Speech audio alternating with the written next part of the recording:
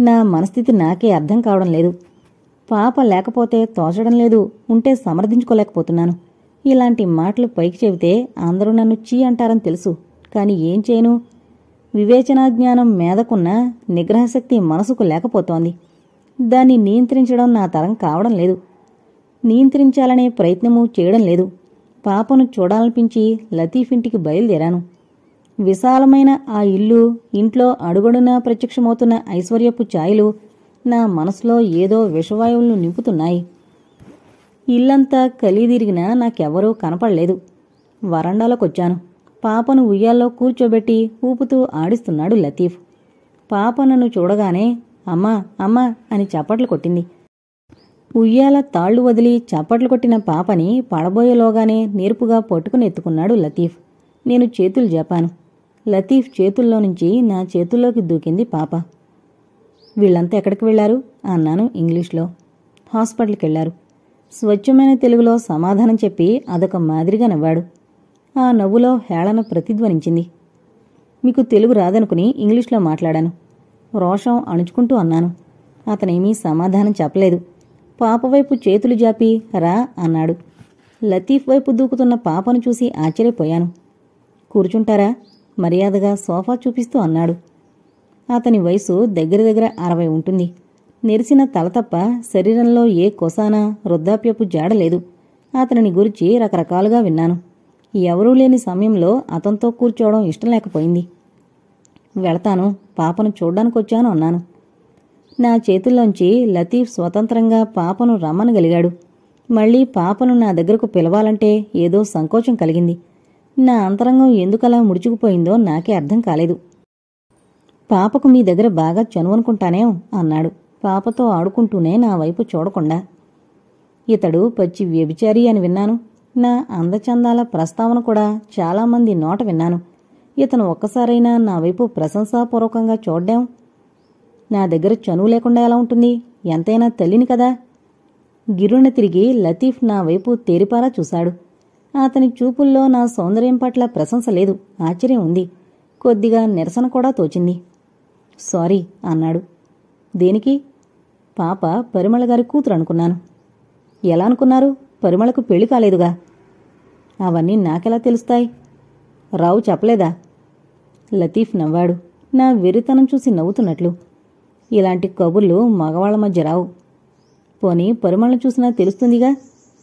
అతను లజ్జపడినట్లు ముఖమంతా ఎర్రబడింది. ముఖం పక్కకు తిప్పుకుని అంత పరిశీలనగా చూడలేదు అన్నాడు. నాకు ఒళ్ళు మండింది. పెద్ద ఋష్యశృంగుళ్ళ పెద్ద ఫోజు. పాపం మీరు ఆడవాళ్ళను తలెత్తి చూడరనుకుంటాను. కావాలని వ్యంగ్యంగా అన్నాను.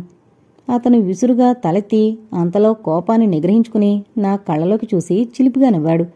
నా గుండె జల్లుమంది అతను నా వంక అలా చూడడం నవ్వడం అదే మొదటిసారి. అతని చిరునవ్వులో ఏదో సెన్సియాలిటీ ఉందని అప్పుడే గమనించాను నేను. ఎందుకు చూడను? చూస్తాను కానీ నేను చాలా తెలివిగలవాణ్ణి. ఎవరి దగ్గర ఎలా మసులుకోవాలో తెలుసు. మరొక్కసారి పెంకిగా నవ్వి అంతలో పశ్చాత్తాపపడుతున్నట్లు గిరున తల తిప్పుకున్నాడు. తల తిరిగింది. అహంతో అతన్ని వికరించబోయి నేనే అపహాస్యాల పాలయ్యాను. కొంచెం సేపటి వరకు మాట్లాడలేకపోయాను. అతనే మృదుస్వరంతో పాపను తీసుకెళ్ళడానికొచ్చారా? అన్నాడు. తడబడ్డాను.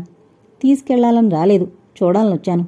పాపకు పరిమళ దగ్గర బాగా చనువు నా దగ్గర ఉండదు లతీఫ్ నా వంక విచిత్రంగా చూసి గట్టిగా నవ్వాడు. ఎందుకు నవ్వుతున్నారు? అబద్ధాలు విన్నప్పుడల్లా నాకు పొట్ట చెక్కలయ్యేలా నవ్వొస్తుంది. ఇది నా బలహీనత. నవ్వు ఆపుకోవడానికి ప్రయత్నిస్తూ అన్నాడు. ఇప్పుడు అబద్ధాలు ఎవరాడారు? మీరు. పొద్దట్నుండి పాప నా దగ్గర హాయిగా ఆడుకుంటోంది. మీ దగ్గర ఉండదా అసలు విషయం చెప్పడానికి ఇష్టం లేకపోతే ఊరుకోవచ్చుగా? అబద్ధాలెందుకు? సంజయ్షిలు అంతరంగంలోని మకిలి మూలాలకు వ్యాఖ్యానాలు. శృతిమించి మాట్లాడకండి. నా శృతి ఎప్పుడూ ఇదే. సమయానుకూలంగా దాన్ని సర్దుకోవడం నాకు చేత కాదు. ఆ అవసరము లేదు. పాప బంతి గట్టిగా విసరాలి. అతను నా వైపు చూడడం లేదు. పాపతో బంతి ఆడుతున్నాడు. అతని దృష్టంతా బంతి మీదే ఉంది. ఏదో చేతకాని పౌరుషంతో ఉడికిపోతోంది నా మనసు. ఇంతకు రావు ననాలి? ఇలాంటి ఇంట్లో తన వాళ్ళని ఉంచినందుకు. సాధారణ సభ్యత సంస్కారాలను మరిచన్నాను. నా మనసులో తెక్కేమిటో నాకే అర్థం కావడం లేదు. పాపతో బంతాడుతూ తల తిప్పకుండానే కూర్చోండి. ఇంకో గంటలో ఆఫీస్ నుంచి వస్తాడు. అప్పుడు అందరూ గాని ఈలోగా కాఫీ పలహారాలు తీసుకోండి అంటూ బల్ల మీద యాపిల్ పళ్ళు చాకు ప్లేటు నా ముందుంచి మళ్ళీ పాపతో బంతాట్లో మునిగిపోయాడు. ఉలిక్కిపడ్డాను అతని మాటలకు. ఏమన్నారు? అన్నాను సంభ్రమంగా. నా సంభ్రమానికి ఉలికిపాటుకు అతను ఆశ్చర్యపోయాడు. ఏముంది? ఇంకో గంటలో రావు ఆఫీస్ నుంచి వస్తాడన్నాను. ఇప్పుడు నాలుగైంది. రావుకు ఆఫీస్ ఏమిటి? అతని ఉద్యోగం పోయిందిగా? ఈసారి లతీఫ్ చేతిలో నుంచి బంతి కిందకి జారిపోయింది.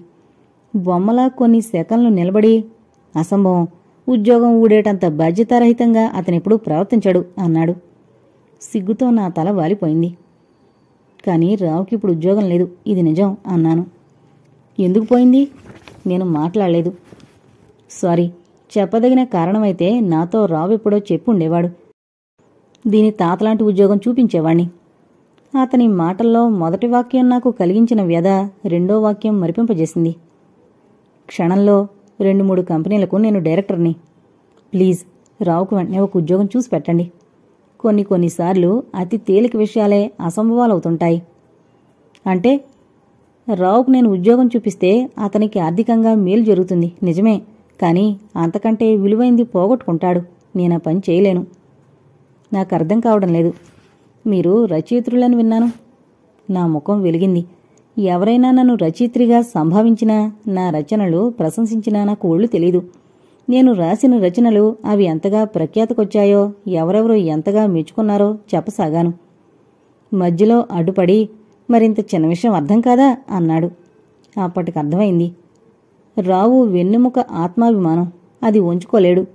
లతీఫు స్నేహాన్ని ఏ విధంగానూ ఉపయోగించుకోకుండా సగర్వంగా అతని ముందు నిలవగలిగినప్పుడే రావు ముఖంలో చిరునవ్వు నిలుస్తుంది. ఆ నవ్వులో కాంతిరేఖ మెరుస్తుంది. ఒకరి ముందు చేయి జాపిన మరుక్షణం రావు అస్తిత్వమే లేదు. నా ముఖం పాలిపోయింది. ఈ ప్రస్తావన రావు ముందు తేకండి. నేనే ఏదో ఆలోచిస్తాను. కాఫీ తీసుకోండి. యథాప్రకారం పాపతో బంతాట్లో మునిగిపోయాడు లతీఫ్. ఆ రోజు నన్ను చూసి లతీఫు ఎలాంటి అనుభూతి చెందాడో నేనెప్పుడూ అడగలేదు. అతను చెప్పను లేదు. కానీ ఆ తర్వాత జరిగిన సంఘటనలను బట్టి అప్పటి లతీఫు ఆలోచనలు ఊహించగలిగాను. లతీఫు ప్రస్తుతం ఒంటరిగా ఉంటున్నా అతడు ఒంటరివాడు కాదు. అతనికి ఇద్దరు కొడుకులు ఇద్దరు కూతుళ్ళు ఉన్నారు. కూతుళ్ళిద్దరూ పెళ్ళిళ్ళు చేసుకుని అత్తారిళ్ళలో ఉన్నారు. కొడుకుల్లో ఒకడు రష్యాలో ఒకడు అమెరికాలో ఉద్యోగాలు చేసుకుంటున్నారు. భార్య చాలా రోజుల కిందటే పోయింది. వ్యాపారపు మెళకువలు అతనికి బాగా తెలుసు. స్మగుల్డు బంగారంతో బంగారు నగల షాపు నడిపిస్తున్నాడు. అదీకాక అనేక ప్రఖ్యాత వ్యాపార సంస్థలతో అతనికి చాలా లావాదేవీలున్నాయి. మొదటి నుండి అతను విషయాలాలసుడే. భార్య బతుకున్న రోజుల్లో సహితం ఎప్పుడో తప్ప ఆవిడ ముఖం చూసేవాడు కాదు. అయితే ఎంతటి విషయ లాలసుడో అంతటి విజ్ఞుడు. అతనికి జీవితంలో అన్నింటికన్నా ప్రథమం అతని వ్యాపారం. ఆ తర్వాత అతని సరదాలు ఎవ్వర్నీ నమ్మడు. ఎవరితోనూ నిజమైన స్నేహం చేయడు. అతనికి నిజమైన స్నేహితుడు రావొక్కడే. డబ్బుతో సంబంధం లేని స్నేహం చేయగలిగే శక్తి రావుకుందని తెలిసాకే అతని స్నేహాన్ని మనసారా స్వీకరించాడు. ఆ తర్వాత రావు కోసం ఏదైనా చేయగలిగేటంత గాఢంగా అభిమానించాడు. మనుషులను చూస్తూనే వాళ్ళను పుస్తకంలా చదివేయగలిగే శక్తి అతనికి సహజంగా వచ్చింది. వంచిన తల ఎత్తకుండా ఎదుటి వాళ్ళను ఆపాదమస్తకము పరిశీలించగలడు. ఆ రోజు అతని కారులో రావడానికి నేను సిద్ధపడినప్పుడే నాకే తెలియకుండా నా మనసులో బుసలు కొట్టే ఐశ్వర్యకాంక్ష అతనికి అర్థమైపోయింది. చాలా అందమైంది. కానీ రావు అదృష్టవంతుడు కాడు అనుకున్నాడు మనసులో. ఎంత ఉద్రేకమో అంత నిగ్రహం గల లతీఫు తలెత్తి నా వైపు మరోసారి చూడకపోయినా అప్పటికే అతని మనసు నా సౌందర్యం చుట్టూ ప్రదక్షిణాలు చేయసాగింది. నేను రావు భార్యననే స్పృహ కొరడా దెబ్బలా చురుక్కుమనగానే అతని మనసు మగతలోంచి తెప్పరిల్లి హెచ్చరిక పొందింది. ఎంత ప్రయత్నించినా లతీఫు నిర్లక్ష్యం నటించగలిగాడే కాని తన మనసును నిగ్రహించుకోలేకపోయాడు. చాంచల్యానికి ఆలవాలమైన మనసది. ఆపరేషన్ జరిగింది కానీ రాఘవకు కళ్ళు రాలేదు. కాంతమ్మ రాఘవ చాలా కుంగిపోయారు. నిరాశతో వాళ్ళు స్వగ్రామానికి వెళ్ళిపోయారు. రావు పరిమళ మళ్ళీ మామూలుగా నా దగ్గరకు వచ్చేశారు. ఎన్నోసార్లు రావుతో అనబోయాను. లతీఫ్ను అడిగి ఉద్యోగం వేయించుకోరాదా అని. లతీఫ్ హెచ్చరిక గుర్తుకొచ్చి ఆగిపోయేదాన్ని. అన్ని సంఘటనలు నేను ప్రత్యేకంగా చూడకపోయినా ఊహించి వివరించగలను. ఆ తర్వాత రావు లతీఫ్ను కలుసుకుని తన వాళ్ళు అన్ని రోజులుగా అక్కడున్నందుకు డబ్బివ్వబోయాడు. నన్ను పరాయివాడిగా చూసి డబ్బిస్తున్నావా? కష్టపెట్టుకుంటూ అన్నాడు లతీఫు. పరాయివాడిగా చూస్తే అసలు నా వాళ్ళని నీ ఇంటికి తీసుకురాకపోదును. మనం ఇంతవరకు మిత్రులం. నన్ను యాచకుణ్ణిగా మార్చుకో. బాధతో కనుబొమ్మలు ముడుచుకున్న రావు ముఖంలోకి ఒకసారి చూసి రావు చేతుల్లో ఉన్న డబ్బు వంక ఒకసారి చూసి లోలోపల జాలి పడ్డాడు లతీఫ్. నా సంగతి తెలుసుగా రావు. ఖర్చు మనిషిని నీ దగ్గరే ఉండి అవసరం వచ్చినప్పుడు అడుగుతాను. ప్రాధేయపడుతున్నట్లుగా అడిగాడు లతీఫ్. మనం ఒకరితో ఒకరం అబద్ధాలాడుకుని ప్రయోజనం లేదు. ఇందా తీసుకో. నువ్వు నాతో అబద్ధాలాడలేదా నేనా ఏం అబద్ధాలాడాను ఆశ్చర్యంగా అడుగుతున్న రావు ముఖంలోకి క్షణకాలం చూసిన లతీఫ్ అనబోయిన మాటలు ఆపేశాడు. నా మాట విను రావు. ప్రస్తుతం నీ దగ్గరుంచు. పోనీ నీకు వెసులుబాటు అయినప్పుడు ఇద్దు గాని. ఇప్పుడు నాకు ఇబ్బందిగా ఉందని ఎవరన్నారు? లతీఫ్ మాట్లాడలేదు. రావు ఆ డబ్బు బల మీద పెట్టి వచ్చేశాడు. పరిమళ చెవులు బోసుగా ఉండడం గమనించి దుద్దులేమయ్యాయి అని అడిగాను. పరిమళ సమాధానం చెప్పలేదు. అమ్మేశాను. ఏ ఉద్వేగమూ లేకుండా అన్నాడు రావు. అదిరిపడ్డాను. ఎందుకు? లతీఫ్కి ఇవ్వాల్సి వచ్చింది. అతనంత డబ్బున్నవాడు కదా. నిన్ను బాకీ తీర్చమని ఒత్తిడి చేశాడా? ఇదెక్కడ స్నేహం? లతీఫ్ ఒత్తిడి చేయలేదు. డబ్బు విషయంలో చాలా జాగ్రత్త గల మనిషి కావడం వల్ల లతీఫ్ ఇంత డబ్బు కూడబెట్టగలిగాడు. నేనే ఇచ్చాను. స్నేహాన్ని నిలుపుకునే పద్ధతిదే ఉన్నప్పుడు ఇవ్వచ్చు. పరిమళ దుద్దులమ్మి ఇవ్వలసినంత తొందర వచ్చింది. ఇంక ఈ విషయం వదిలే. శాంతంగా అన్నాడు. అయినా అతనికి బాగా కోపం వచ్చిందని గ్రహించాను. ఎంతో కోపం వచ్చినప్పుడు భరింపరాని విసుగు కలిగినప్పుడు మాత్రమే రావు సంభాషణ అలా తుంచేస్తాడు. నేను రావు ఇద్దరము సంపాదిస్తున్నప్పుడే ఏ నెల కానెల కటకట్లాడేవాళ్ళం. ఇప్పుడు రోజులు మరీ గడ్డుగా గడుస్తున్నాయి. రోజురోజుకి నాలో అసహనం పేరుకుపోసాగింది. రోడ్డు మీద మెత్తగా సాగిపోయే కార్లను చూసినా స్కూటర్ల మీద భర్త నడుం చుట్టూ చేయి వేసి కూర్చున్న స్త్రీలను చూసినా తీర్చిదిద్ది అంగసౌష్ఠవానికి నేర్పుగా చేసుకున్న అలంకరణ తోడు కాగా కుందనపు బొమ్మల్లా లైబ్రరీకొచ్చే కాలేజీ అమ్మాయిలను చూసినా నాకు తెలియకుండానే విషపు టూర్పులను వదులుకునేదాన్ని. అపురూపమైన అందము అసాధారణమైన తెలివి నాకుందని అనుకునేదాన్ని. ఇవన్నీ ఉన్న నేను సాధారణ స్త్రీలలాగా అతి సామాన్యంగా బతకవలసొచ్చినందుకు కుమిలిపోయేదాన్ని. అందరిలో నేనేదో ప్రత్యేకమైనదాన్నని అందరూ నన్ను ఆరాధించాలని అందరికంటే ఉన్నతమైన స్థాయిలో జీవించాలని ఆరాటపడిపోయేది మనసు. నవలలు రాసేదాన్ని. రెండు మూడు ప్రచురింపబడ్డాయి. పొగుడుతూ ఉత్తరాలు కూడా వచ్చాయి. పారితోషికము వచ్చింది. అంతలో ఖర్చు అయిపోయింది ప్రచురణకర్తలు పెట్టే చికాకులు కొద్ది కొద్దిగా అనుభవంలోకి రాసాగాయి. కొందరు ప్రత్యేకం ఇంటికొచ్చి అడ్వాన్స్ కూడా ఇచ్చి పుస్తకం రాతప్రతి కూడా తీసుకువెళతారు. అంతే ప్రచురించరు. మరికొందరు ప్రచురిస్తారు. కానీ ఇస్తామని వాగ్దానం చేసిన రాయల్టీ ఇవ్వరు అందుచేత నాకు శ్రమ ఏదో రాశానన్న సంతోషము దక్కుతున్నాయి. కానీ ఆర్థికంగా ఏమంత లాభం కలగడం లేదు. ఇలాంటి పరిస్థితుల్లోనే నేనొక పని చేశాను. ఆ పని ఎందుకు చేశానో నా అంతరాంతరాల్లో ఏ భావం ఆ పని చేయడానికి ప్రేరేపించిందో ఈనాటికి నేను చెప్పలేను. నా సరికొత్త నవల నా సంతకంతో లతీఫ్కి పోస్ట్ చేశాను. లతీఫు రావులు పదేళ్ళ నుండి ప్రాణ స్నేహితులు. కానీ ఎన్నడూ లతీఫు రావు ఇంటికి రాలేదు. రావు ఎప్పుడూ ఆహ్వానించనూ లేదు. వీధి ముందు కారాగిన చప్పుడైనా మా ఇంటికి కారులో వచ్చే వాళ్ళెవరనుకుని మాలో ఎవ్వరమూ కదలేదు తలుపు దగ్గర చిన్నగా తట్టిన చప్పుడు రావు అన్న లతీఫు కంఠస్వరము విని రావు సంభ్రమంతో లేచి ఆశ్చర్యంతో తలమునకలవుతూనే లతీఫును లోపలికి ఆహ్వానించాడు. లతీఫు లోపలికొస్తూనే పరిమళకు నాకు మర్యాదగా నమస్కారాలు చేశాడు. ప్రతి నమస్కారం చేసి పరిమళ లోపలికి వెళ్ళిపోయింది. పాప లతీఫును చూడగానే ఎగిరి ఒళ్ళో కూర్చుంది. లతీఫు పాపను ఆప్యాయంగా ముద్దు పెట్టుకుని స్వీట్ బాక్స్ దాని చేతిలో పెట్టి స్వీట్ బేబీ అన్నాడు. ఆ మాటంటూ అతను నా వైపు చూసిన చూపు రావు గమనించాడో లేదో చెప్పలేను కానీ నా మట్టుకు నాకు అర్థమైపోయింది. గర్వంతో నా మనసు పొంగిపోయింది. నా గర్వాన్ని మరింత చేస్తూ అతని చేతిలో నా పుస్తకం కనిపించింది. రావు ఆశ్చర్యంగా నా నవల వంక చూసి నువ్వు నవలలు చదవడం మొదలుపెట్టావా? అన్నాడు లతీఫ్తో. లతీఫ్ నవ్వి సాధారణంగా చదవను కానీ ఈవిడు పంపారని చదివాను అన్నాడు. రావు నా వైపు ఒకసారి ప్రశ్నార్థకంగా చూశాడు. నేను లతీఫుకు పుస్తకం పంపినట్లు రావుకు చెప్పలేదు. రావు చూపులు లక్ష్య పెట్టకుండా లతీఫ్ను ఉద్దేశించి నా నవల ఎలా ఉంది? అన్నాను. అంతలో పరిమళ ట్రేతో అందరికీ కాఫీ తీసుకునొచ్చింది. లతీఫ్ కాఫీ అందుకొని పరిమళకు థ్యాంక్స్ చెప్పి కాఫీ సిప్ చేస్తూ రావుతో క్రికెట్ మ్యాచ్ గురించి కబుర్లు మొదలుపెట్టాడు. నా ప్రశ్నకు సమాధానం రానేలేదు. నాకు భగ్గుమంది. అక్కడి నుంచి లేవబోయాను. లతీఫ్ చటుక్కున నా వంక తిరిగి వెళ్ళకండి నేను రావుతో మాట్లాడబోయే మాటలు మీరు వినాలి అన్నాడు. రావు నేను ఇద్దరము ఆశ్చర్యపోయాం. కుతూహలంగా చూస్తున్న నా చూపులు తప్పించుకుని రావునుద్దేశించి రావు నువ్వు నాకు సాయం చెయ్యాలి అన్నాడు లతీఫ్. రావు నవ్వుతూ నేను సాయం చెయ్యాలా చెప్పు అన్నాడు. అదేదో వేళాకోళం కింద జమ కడుతూ నేను మరో కొత్త వ్యాపారం మొదలు పెట్టాలనుకుంటున్నాను అయ్. శుభం. వ్యాపారంలో నీకంటే ప్రజ్ఞాశాలి ఎవడు? ఇందులో నేను చేయగలిగిన సహాయం ఏముంది?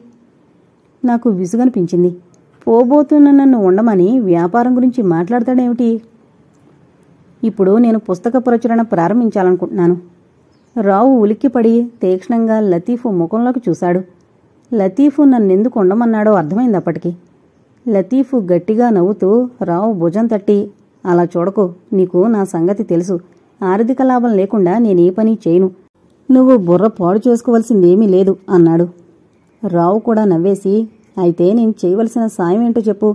నీ ప్రచురణకు పుస్తకాలను ఎన్ని చేసి పెట్టమంటావా? అన్నాడు. నీ ఎన్నిక నాకు తెలుసు. అవి సాహిత్య ప్రమాణాల దృష్ట్యా విలువైనవే కావచ్చు. కానీ చాక్లెట్లలా అమ్ముడు పోవు. వ్యాపారానికి పనికిరావు. పక్కపక్క నవ్వాడు రావు. గుడ్. ఇంకా అడుగు పెట్టి పెట్టకుండానే ప్రచురణ వ్యాపారంలో మెళకువలు నేర్చేసుకున్నావు. నూరు శాతం వ్యాపారివి. ఇంకా నేను చేయగలిగిన సాయం ఏముంది? నేను శారద గారి నవలలు చదివాను. అక్కడక్కడా బాగుంది. ఇప్పటికీ నా వైపు చూడకుండా రావునే చూస్తూ అన్నాడు. అతని మాటలు నన్ను పొగిడినట్లో వెక్రించినట్లో అర్థం కాలేదు నాకు. రావు ఏ సమాధానం చెప్పకుండా వింటున్నాడు. లతీఫు రావుకు ఒక సిగరెట్ అందించి లైటర్తో తన సిగరెట్ అంటించుకుని రావు సిగరెట్ కూడా అంటించాడు. శారద గారి నవలలు చదివితే నాకు ఒక విషయం తోచింది. ఎక్కడెక్కడ సన్నివేశంలో బిగుస్తుందో అక్కడ ఆవిడ రచన రాణించింది. తక్కిన చోట్ల పేలవంగా ఉంది. ఆశ్చర్యంతో కుతూహలంగా వింటున్నాను అతని మాటలు. ఆనందము ఆవేదన రెండూ కలిగిస్తున్నాయి అతని మాటలు. చక్కని ఇతరత్వం ఎన్నుకుంటే ఈవిడ ఆమూలాగ్రము అందంగా రాయగలరు. ఇప్పటి నవలల్లో అక్కడక్కడా కనిపించే పేలవత్వానికి కారణం ఇతరత్వంలో బిగువైన అల్లిక లేకపోవడమే. కాని లతీఫు ఏదో చెప్పబోతున్న రావును చేసైగతో వారించి లతీఫు చెప్పుకుపోసాగాడు ఈవిడ రచనా విధానం నాకు నచ్చిన ఎన్నుకున్న ఇతరత్వాలు నాకు నచ్చలేదు. సర్వజనాసక్తికరమైన ఇతరత్వాలు నేను సూచించగలను. వాటిని ఆధారంగా తీసుకుని ఈవిడ నవలలు రాస్తే నేను ప్రచురిస్తాను. నెలకు వెయ్యి రూపాయలు ఇస్తాను. నెలకు వెయ్యి రూపాయలా? అప్రయత్నంగా అనేశాను. సంభ్రమము సంతోషము నా కంఠంలో నాట్యం చేశాయి. అప్పటికీ లతీఫు నా వైపు తిరగలేదు. కానీ ఒక్క షరతు. నవల నేను చెప్పినట్లుగా రాయాలి. మార్చమన్న చోట మార్చాలి. కూర్చమన్న చోట కూర్చాలి. ఇందుకు శారదగారు ఒప్పుకోకపోవచ్చు. నువ్వే ఒప్పించాలి. ఈ సాయమే నేను కోరింది. రావు ముఖం వడలిపోయింది. రాసేది శారద. తననే అడుగు. నా అభిప్రాయాలు బలవంతాన ఒకరి నెత్తిన రుద్దడం నాకెంతమాత్రం ఇష్టం లేదని నీకు తెలుసుగా? తెలుసు. అందుకే స్థిమితంగా మీ ఇద్దరూ ఆలోచించుకుని మీ అభిప్రాయం నాకు తెలియజేయండి. వస్తాను. లతీఫ్ లేచి పరిమళకు నాకు నమస్కారం చేసి పాపను ముద్దు పెట్టుకుని వెళ్ళిపోయాడు. లతీఫు నా అభిప్రాయం అప్పుడే అడుగుంటే ఒక క్షణం ఆలస్యం చేయకుండా అతను విధించిన షరతులన్నీ నాకిష్టమేనని ఒప్పేసుకునేదాన్ని. అకస్మాత్తుగా రావు నేను ఒకరినొకరం చూసుకున్నాం. నా ముఖంలో వికాసం అతన్ని అతని ముఖంలో పౌండ్రత నన్ను విభ్రాంతుల్ని చేసింది. పసిపిల్లలకు మనం ఏమీ తెలియదనుకుంటాం. మనకు తెలిసిన లౌకిక విషయాలు వాళ్ళకు తెలియకపోవచ్చు. కానీ మన మేధకందని అతీంద్రియ జ్ఞానమేదో ఉంటుంది. లతీఫ్ ఇచ్చిన చాక్లెట్ తీసి రావు నోటికందిస్తూ నా తిను అంటోంది పాప వచ్చిరాని మాటలతో. రావు దృష్టి తన వైపు తిప్పుకోవాలని పాప చేసే ప్రయత్నము రావును అనునయించాలని పడే తాపత్రయము గమనించాక స్ఫురించింది నాకు. రావు చాలా కుంగిపోయినట్లు కనిపిస్తున్నాడని. ఎంతటి చికాకులోనైనా పాపను చిన్నబుచ్చలేడు రావు. పాప అందించిన చాక్లెట్ అందుకొని చిరునవ్వుతో పాపను ముద్దు పెట్టుకున్నాడు. తండ్రి చిరునవ్వు చూశాక సంతృప్తి పడిందాల్లా తన బొమ్మలతో మునిగిపోయింది పాప. రావు ముఖ కవళికలు గమనిస్తూనే లతీఫు సూచించిన విధానం రావుకి ఎంతమాత్రం నచ్చలేదని అర్థమైపోయింది నాకు. రావుకు నచ్చినా నచ్చకపోయినా లతీఫు కోరినట్లు రాసి తీరాలని నిర్ణయించుకున్నాను. నా ముఖంలో రావు నా మనసును చదువుంటాడు. విరక్తిగా ముఖం తిప్పుకున్నాడు. పరిమళ అని పిలిచాడు. ఆ పిలుపులో అంత కటుత్వం ఆ ముఖభంగిమలో అంత కాఠిన్యం ఆ ఊర్పులో అంత వేడి నేనెప్పుడూ గమనించలేదు. పరిమళ పాలిపోయిన ముఖంతో వణుకుతూ వచ్చి నిల్చుంది. పరిమళ నా ఉద్యోగం పోయిన సంగతి లతీఫ్కు చెప్పావా? రావు తన మాటల్లో పలికించిన పదును నా మనసును కోసింది. అవ్యక్తమైన ఆవేదనతో చలించే అతని కనుపాపలు నా మనసును ఒకటి రెండు క్షణాలు కదిలించాయి. అన్న ప్రదర్శించే కాఠిన్యానికి తట్టుకోలేకపోయింది. కళ్ళు చెమ్మగిల్లాయి. అయినా ఆ అన్నకు చెల్లెలు పరిమళ. దారుణమైన అభిమానంతో మనసు గాయపడినా ఉదాసీనంగా నేను ఎవరితోనూ శృతిమించి మాట్లాడనని నీకు తెలీదా అంది. రావు తన తొందరపాటు త్వరలోనే తెలుసుకున్నాడు. అవును నాకు తెలుసు. ఏ పరిస్థితుల్లోనూ నువ్వు పెదవి కదపవని నాకు తెలుసు. చికాకులో నన్ను నేను మరిచిపోయాను. ఈ సంభాషణకు నా మనసు లజ్జతో ముడుచుకుపోయింది. ప్రయత్నించినా పెదవి విప్పలేకపోయాను. ఇందులోనూ చికాకు పడవలసింది ఏముందన్నయ్యా ఓదారుస్తున్నట్లంది పరిమళ. నీరసంగా నవ్వాడు రావు. నాకు లతీఫు బాగా తెలుసు. ఎలాగో నా ఉద్యోగం పోయిన సంగతి అతనికి తెలుసుంటుంది. నా అభిమానం గాయపడకుండా నాకు సాయం చేసే ఉద్దేశమేది ఇది. నేను సహించలేకపోయాను. ఏం కాదు ఎక్కడైనా బావు కానీ వంగతోటలో బావు కాదు. స్నేహం కోసం ఎవరూ అంత డబ్బు సహాయం చేయరు. అతనికి నా రచన నచ్చింది. నా పుస్తకాలు అమ్ముకుని డబ్బు చేసుకోగలననే నమ్మకము కుదిరింది. అందుకే పనిగట్టుకుని వచ్చాడు. ఎంత మూర్ఖురాలువు నువ్వు? లేచి నుంచున్నాడు రావు. ఇంత ఆవేశం ఉందా రావులో? ప్రతిభ లేస మాత్రము. వ్యుత్పత్తి శూన్యమైన రచయిత్రివు నువ్వు. నీ అదృష్టవశాన నీకంటే దద్దమ్మలు చాలామంది కలం పట్టి రచనా వ్యాసంగానికి శాసించడం వల్ల నువ్వు ఒక రచయిత్రిగా చలమణి అవుతున్నావు. ఎంత తపస్సు చేస్తే రచయిత్రివి కాగలవు నువ్వు? రావు ఎన్నడూ ఇంత బ్లష్టుగా మాట్లాడలేదు నాతో. అంతకుముందు నన్ను పెద్దగా ప్రశంసించకపోయినా ఇలా నన్ను తీసి పారేయలేదు. పైపెచ్చు నాలో ఇన్ఫీరియారిటీ కాంప్లెక్స్ రాకుండా జాగ్రత్త పడుతూ ప్రోత్సహించేవాడు అలాంటి రావు ఇంత కట్టి విరిచినట్టు మాట్లాడాడంటే ఆ మాటల వెనక అతని మనసు ఎంత మదనపడుంటుందో ఊహించుకోవలసింది నేను. అందుకు మారుగా రావుకు రెట్టింపు ఆవేశపడ్డాను. నేను రచయిత్రినే కానని అతి ప్రయత్నం మీదనైనా విజయం అనుమానాస్పదమని రావు వెలుబుచ్చిన అభిప్రాయం నా మనసును దహించి వేసింది. పిచ్చిదాల్లా అయిపోయాను. నువ్వు వట్టి కుళ్ళిపోతివి నా అభివృద్ధి ఏమాత్రం సహించలేని వాడివి లతీఫ్ సహకారంతో నేను పైకొస్తున్నానేమోనని నీకు భయం. అన్ని విధాలా నీకంటే అధికురాలనైపోతానేమోనని హడల్. శతవిధాలా నన్ను అణిచుంచాలని నీ తాపత్రయం. కానీ తెలుసుకో నన్ను ఎవరూ శాసించలేరు. నా ఇష్టం వచ్చింది నేను చేసి తీరతాను. ఎన్నడూ మా సంభాషణలో కల్పించుకోని పరిమళ ఆతృతతో వదినా నువ్వు ఒళ్ళు మరిచి మాట్లాడుతున్నావు అంది. రావు కళ్ళు నిప్పులు కురుస్తున్నాయి. మరొప్పుడైతే ఆ చూపులకు వణికిపోయేదాన్ని. కాని ఆ సమయంలో నాలో ఏదో పైశాచికావేశం విజృంభించింది. నిర్లక్ష్యంగా అతని చూపుల్ని ఎదుర్కొన్నాను. శారదా ఇందాకటి నుంచి నేను చెప్పడానికి సాహసించలేని మరో విషయం ఉంది. ఇప్పుడు తప్పనిసరి చెబుతున్నాను. చెప్పదలుచుకున్నవని చెప్పు. హేళం చేస్తున్నట్లు అన్నాను. క్షణకాలం రావు చూపుల్లో విరక్తి నిండుకుంది. నా ఎదట నిలవలేని వ్యక్తిలా నాలుగడుగులు ద్వారం వైపు వేసి అంతలో తెచ్చిపెట్టుకున్న నిగ్రహంతో గంభీరంగా కూర్చున్నాడు. బలవంతాన గొంతు పెగల్చుకుని లతీఫు తాగుబోతు వ్యభిచారి అని అందరికీ తెలుసు. ఎన్నడూ లేంది అతను ప్రచురణలు ప్రారంభించడం ఏ ప్రచురణకర్త ఏ రచయిత్రికి ఇవ్వనంతటి రాయల్టీ నీకివ్వడం సంఘంలో నీ మీద అపవాదులు ప్రచారం కావడానికి కారణమవుతాయి అన్నాడు. చిచ్చి గర్జించాను రోషంతో. ఏ దారి దొరక్క చివరికి ఈ దారి తొక్కవా? నేను అటువంటి దాన్ననుకున్నావా అనుకుంటే ఈ విషయం చెప్పాల్సి వచ్చేదే కాదు. మరి ఎవరో ఏదో వాక్కుంటే నాకే నష్టం? శారదా సంఘంలో అప్రతిష్ట కోరి కొని తెచ్చుకుంటానంటావా? నా బాగు నేను చూసుకుంటానంటున్నాను. ఈ ప్రయత్నంలో వచ్చే అవాంతరాలను లక్ష్యపెట్టనంటున్నాను. లతీఫు మరొకరికి ఎవరికైనా ఇలాంటి ఆఫర్ ఇస్తే ఏవేవో శంకలతో వద్దనే రచయిత్రులు కానీ రచయితలు కానీ ఒక్కరు కూడా ఉండరని ఘంటాపదంగా చెప్పగలను. నేనెందుకు వదులుకోవాలి? నిన్ను ఐశ్వర్యకాంక్ష ఆవహించింది. నేనేం చెప్పినా అర్థం కాదు. విరక్తిగా అన్నాడు రావు. అవునేమో నీకా ఉద్యోగం లేదు. నా జీతం ఇల్లు గడవడానికి కూడా సరిపోవడం లేదు. ఈ జీవితాలు ఎప్పటికీ ఇంతేనా? పాపను దర్జాగా పెంచుకోవాలని ఉన్నా వీలవుతుందా?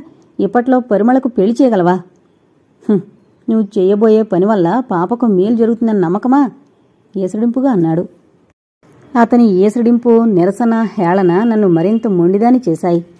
తప్పకుండా మేలు జరుగుతుంది.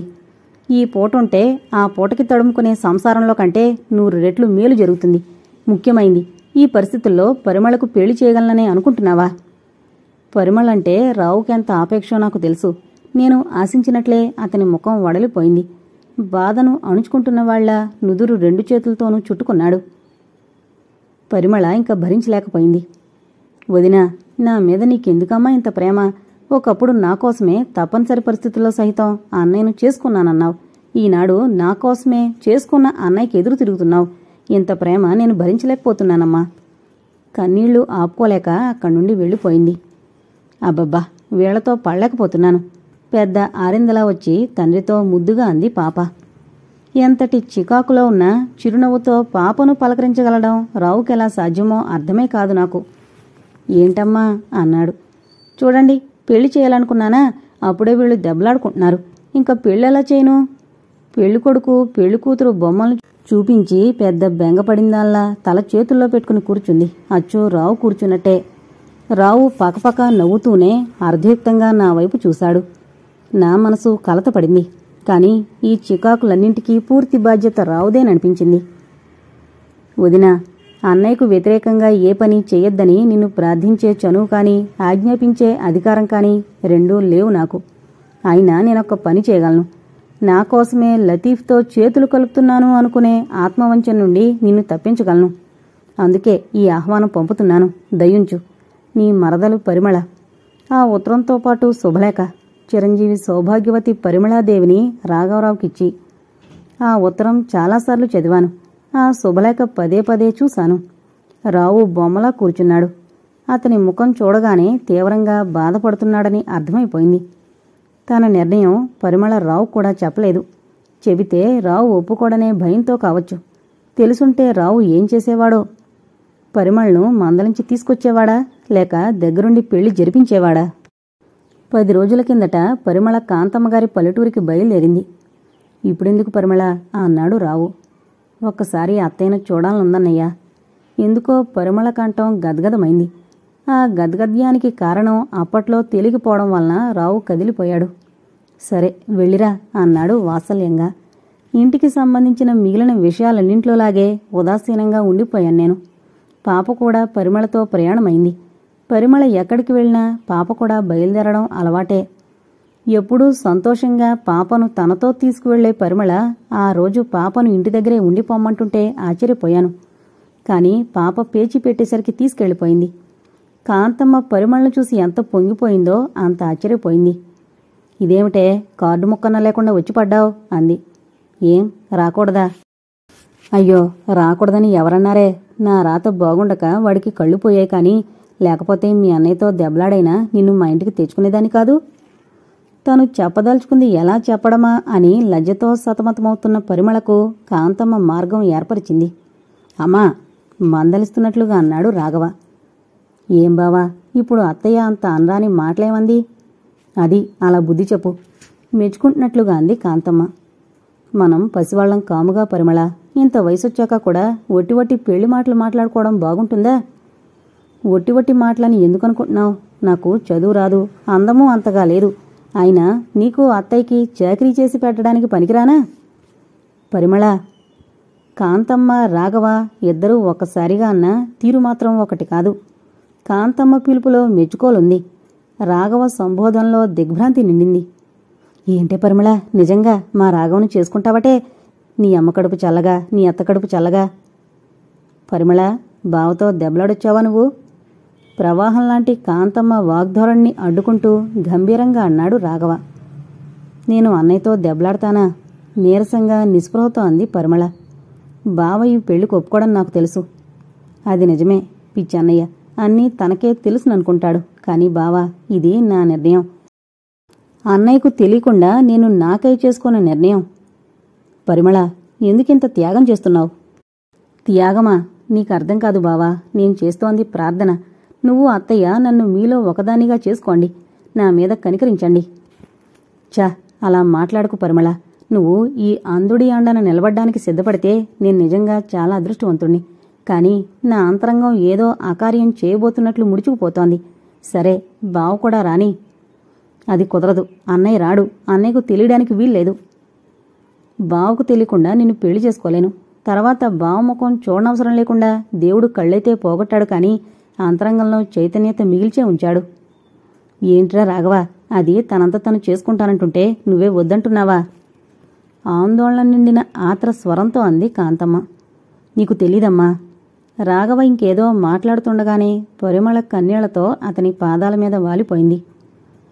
నీకే ఏం తెలియడం లేదు బావా. నువ్వు ఈ నిర్భాగ్యురాల మీద దయతలిచి ఆశ్రయం చూపించకపోతే నేను నాకెంత మాత్రం ఇష్టం లేని పని ఆత్మహత్య చేసుకోవాల్సి వస్తుంది పరిమళ కన్నీళ్ళు తన పాదాల మీద వెచ్చగా తగిలేసరికి కదిలిపోయాడు రాఘవ.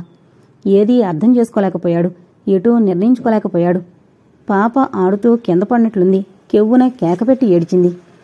తన జీవితంలో అత్యంత ప్రధానమైన సమస్యను కూడా మరిచి పాప దగ్గరికి పరిగెట్టి లేవనెత్తి దుమ్ము దులిపి రెండు చాక్లెట్లు ఇచ్చి తన పక్కన కూర్చోబెట్టుకుంది పరిమళ. పాప కూడా వచ్చిందా? ఆశ్చర్యంగా అడిగాడు రాఘవ. పాప నన్ను ఎప్పుడూ వదలదు. అయితే నువ్వు మీ అన్న వదులతో దెబ్బలాడి రాలేదన్నమాట. నన్ను నమ్ము బావా నేనెన్నడూ ఎవరితోనూ దెబ్బలాడను. అప్పటికి నమ్మకం కుదిరింది రాఘవకు. మరి బావకు తెలియకుండా మనం పెళ్ళి చేసుకుంటే బావకు కోపం రాదా? నేను చేసిన ఏ పనికి అన్నయ్యకి కోపం రాదు. తర్వాత తనలో తను అనుకుంది బాధపడచ్చు. పరిమళ కన్నీటి వెచ్చని స్పర్శ మరొకసారి రాఘవ హృదయాన్ని తాకింది. అయోమయంగా నవ్వుతూ సిరికి మోకాలుడితారా ఎవరైనా? నీ ఇష్టం. తర్వాత ఎప్పుడైనా పశ్చాత్తాపడినా నా ముందు ప్రకటించుకో అన్నాడు. పరిమళ ఉల్లాసంగా నవ్వింది. పశ్చాత్తాపపడవలసిన అవసరం ముందు మీకే రావచ్చు. ఈనాడు నాతో ఇంత కఠినంగా మాట్లాడినందుకు. రాఘవ్కు కళ్ళు లేకపోయినా విధాత అతని మనసును నిశిత చైతన్యవంతం చేయడంలో తీర్చాడు. పరిమళ నవ్వులో ఉల్లాసము కంఠంలో మార్ధవము పరిమళ తనను మనసారా అంగీకరిస్తోందని రాఘవ్కు విప్పి చెప్పాయి. పెళ్ళి జరిగిపోయాక కాని నాకు రావుకు విషయం తెలియలేదు. పెదవి కదపకుండా ఒక్క చేత్కారమైనా చేయకుండా నాకు చెళ్ళున చెంపదెబ్బ కొట్టింది పరిమళ.